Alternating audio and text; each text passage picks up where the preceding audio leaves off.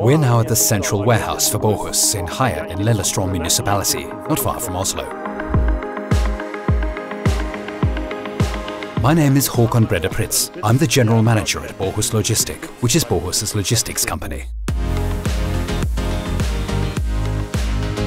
This warehouse is the first automated warehouse for furniture and interior design in Norway, where we combine small goods such as Christmas baubles, which are fragile, and large products such as sofas or sideboards or dining tables.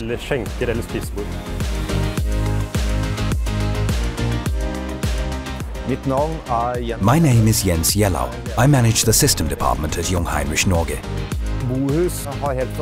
From the very beginning, we have informed Bohus about the advantages and disadvantages of manual versus fully automated solutions. Bohus chose an automated solution to tackle the requirements of the future and for improved delivery competence, control of goods and so on.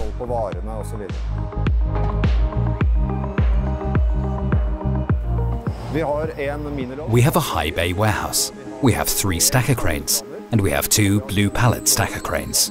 All systems have their own picking and feeding stations, cargo for persons.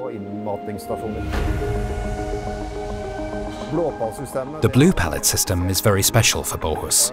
The load carrier is something they developed around 20 years ago and have been using internally ever since.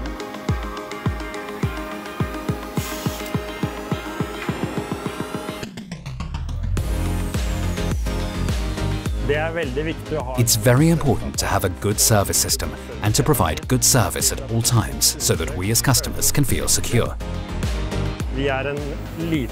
We had never worked with this before, and we needed a partner that could support us and help us through the process effectively.